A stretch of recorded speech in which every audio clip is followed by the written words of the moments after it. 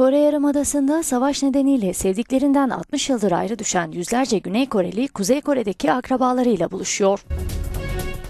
Çoğunluğu 80 yaşın üzerindeki yaklaşık 250 Güney Koreli, Kuzey Kore sınırını geçerek akrabalarıyla bir araya geldi.